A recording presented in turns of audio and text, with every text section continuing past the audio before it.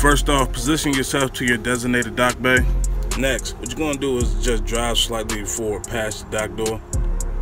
Start turning your steering wheel all the way to the left. What we're trying to do, right, is make your trailer parallel to the dock door. Make it easy as possible when making deliveries. How we do that is create an S maneuver or make a snake-like movement where we turn our wheel all the way to the left as our trailers is falling behind us. We turn all the way to the right, hold that for a few seconds, and then pull forward while you straighten your wheels out.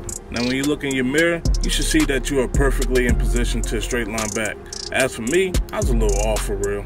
But that don't matter for real, because we just gonna make minor adjustments when we backing up. Keep both hands on the wheel. Make minor adjustments to the left, to the right if needed. But you wanna make sure that you keep your tires on the inside of the yellow line of the dock door.